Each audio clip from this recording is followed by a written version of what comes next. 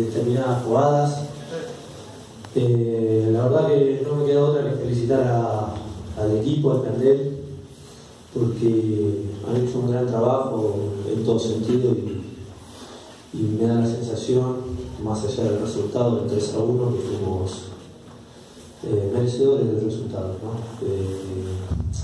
así que nada, descansar y, claramente hay que seguir por este camino.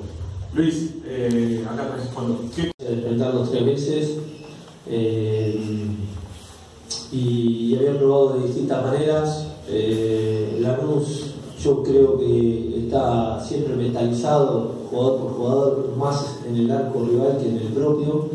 Esa es una construcción de plantel, es, algo que, está así.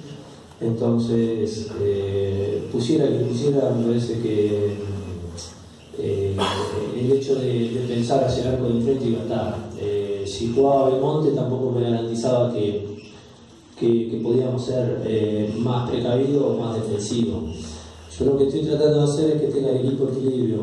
Muchas veces el equilibrio lo tenés con mucha gente a priori ofensiva. ¿Por qué? Porque por ahí una vez que recuperás le das seguridad con el balón, se pueden meter jugadores que te presionan como los deberes, yo básicamente lo pensé así, digo, bueno, ellos hacen marca personal en el medio, 3 contra 3, y yo tengo que tener gente que duda o gente rápida, porque si no, es lo que parece que vos podés estar equilibrado con un jugador más defensivo, entre comillas, si no podés sacarte ese hombre encima, está complicado.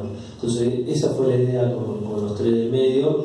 Eh, me duele dejar jugadores importantes en el banco, pero creo que el plantel está dispuesto a entrar y salir porque en definitiva el equipo está por encima de todo ¿no? y, salió bien, después lo pudimos cerrar bien con el empate son esas sobatazas de agua fría que, uno no quiere tener porque hacía tres minutos que habíamos hecho gol, así que pero bueno, eso marca también que pudimos estar fuerte y, y enseguida encontrar el 2 a 1.